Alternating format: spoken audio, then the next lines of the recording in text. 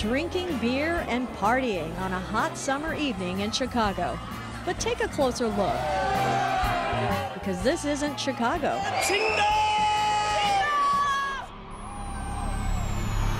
This is Qingdao, China, a major resort city on the Yellow Sea, directly west of South Korea, with a population of over 7.5 million. And by the way, that's a medium sized city by Chinese standards. Convinced this stunningly beautiful city with a European flavor will soon be a must visit destination for American tourists. Hello, I'm WGN TV reporter and anchor Nancy Loo. When Chicago resident Helen Yang invited me to accompany her on a 10 day trip back to her hometown of Qingdao, I jumped at the opportunity. You can join me on that trip and experience what many call the Asian Riviera.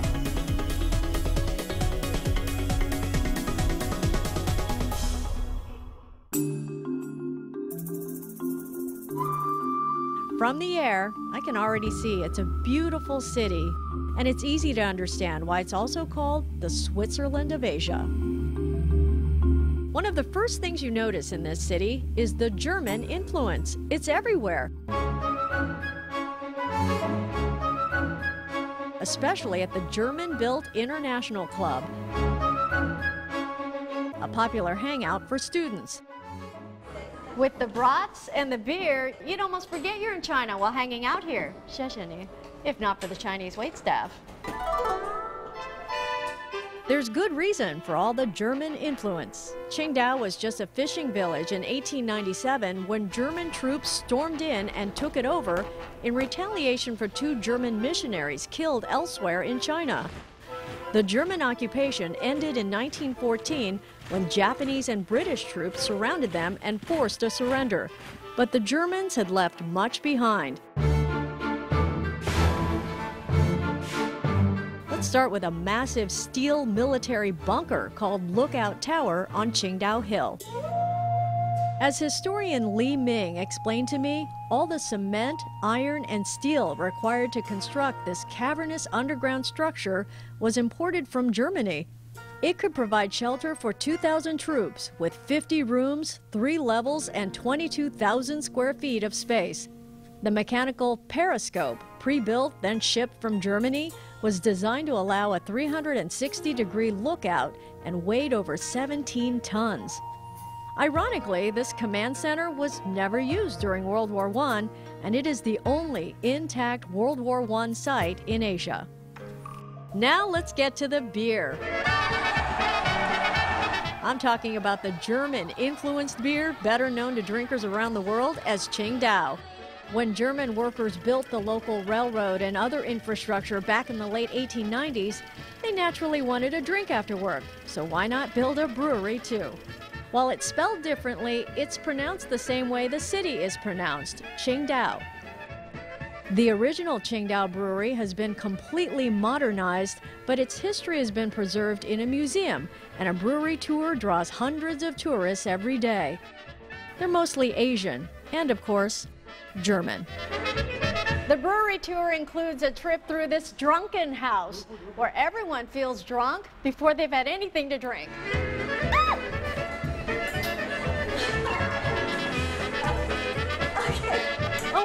Thing. Qingdao's version of a six pack to go is, well, this. And the German influence doesn't end with beer and bunkers. So what was built by the Germans to be used as City Hall here in Qingdao, then used by the Japanese, Chiang Kai-shek, and the People's Republic of China, is now being used by the local Qingdao government. This European Gothic style structure is the old German governor's mansion, built back in 1908. The opulent Bavarian castle was the official residence of the colonial era German governor. Once under Chinese control, it was renamed Guest House and became important as a retreat for visiting dignitaries, VIPs, and political figures. The graceful lines, bold colors, and unique ornamentation make this building an architectural gem. The guest house is now a museum.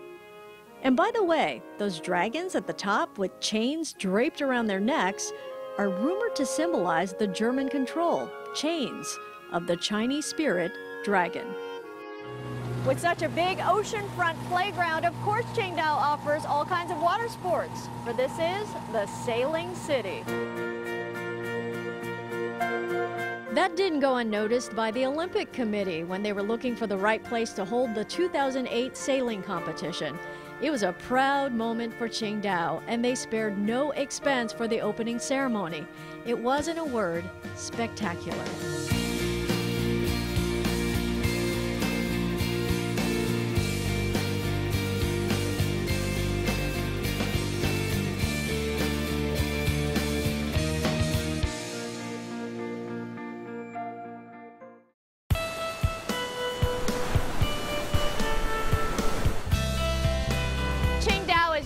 Geographically blessed with many inlets and small islands, so there are 450 miles of shoreline, enough for everyone to enjoy.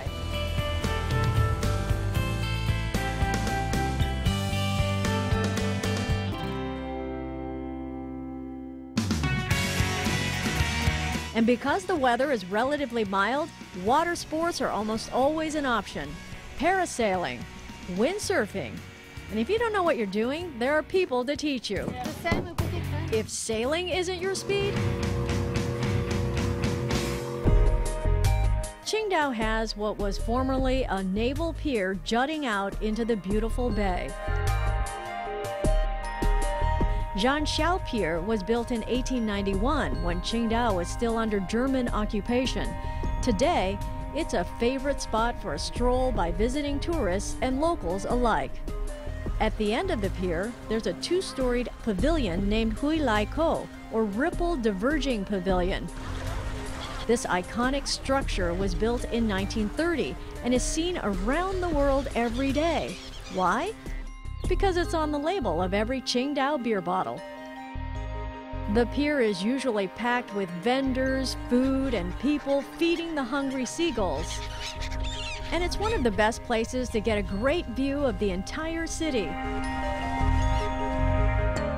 And speaking of great views, Xiaoyushan Park, or Little Fish Hill, is just a short distance from the pier.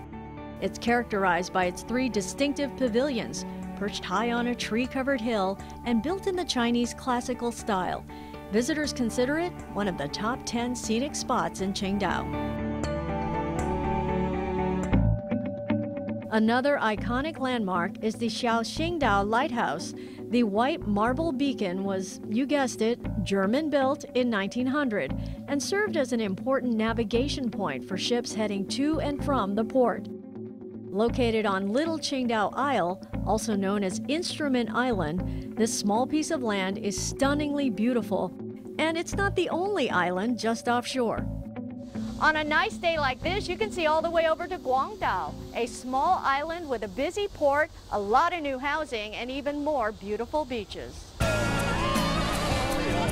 Qingdao also has an aquarium, and like our shed, it was built in the 1930s, has been updated, and has kept much of its vintage appearance. And both are pioneering facilities with many firsts.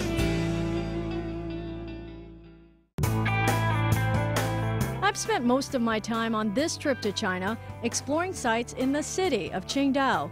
Today, though, I'm very excited because we're headed out of the city and up to the mountains to a special place called Laoshan.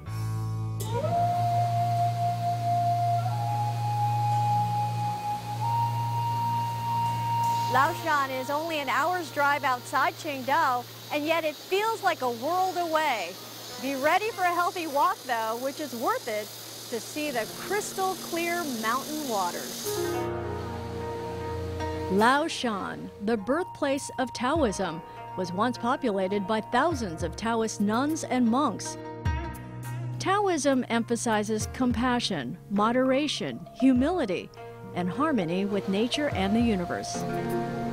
It is said to be the home of supernatural spirits because many centuries ago, Emperor Qin Shi Huang came here to visit so called supernatural beings. People still say the spring water produced here can cure chronic diseases, and it's also a vital ingredient for Tsingtao beer. This peaceful spot is a must see for anyone visiting Qingdao. On the way back to the city, we had a chance to stop at China's first European style winery, located in the fields at the base of Laoshan. This area has long been revered for its apple orchards, but it's gaining a reputation now for the Chardonnay, Rieslings, and Reds produced by Huadong Winery. The next day, we visit another spiritual destination, and a unique one too, for China that is. We were allowed to shoot inside Qingdao's St. Michael's Catholic Cathedral. Believe it or not, there are thousands of Catholics in this area.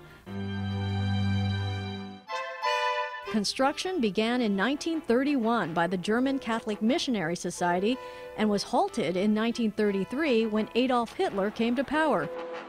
He prohibited the transfer of money overseas, so the diocese was forced to independently complete construction, requiring a number of cost effective design changes. But the church is still beautiful. Hitler wasn't the only trouble looming for St. Michael's. When the Japanese occupied Qingdao in 1942, they slapped a sign on the front door reading, Under management of the Japanese Army.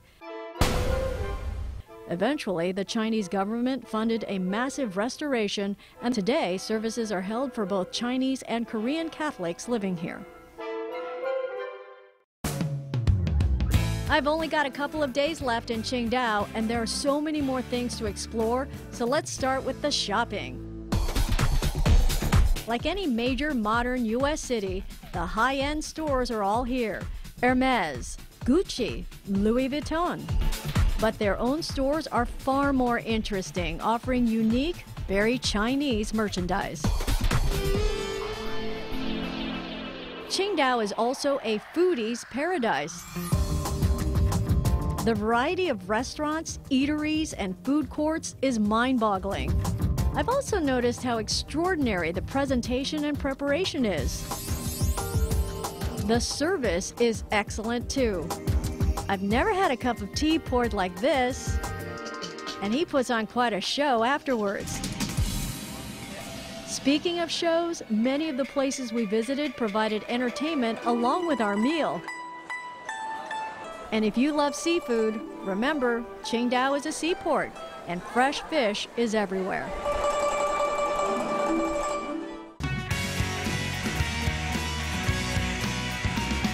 I think we've come full circle on this trip as I spend my last night at the Qingdao Beer Festival, the largest beer festival in Asia.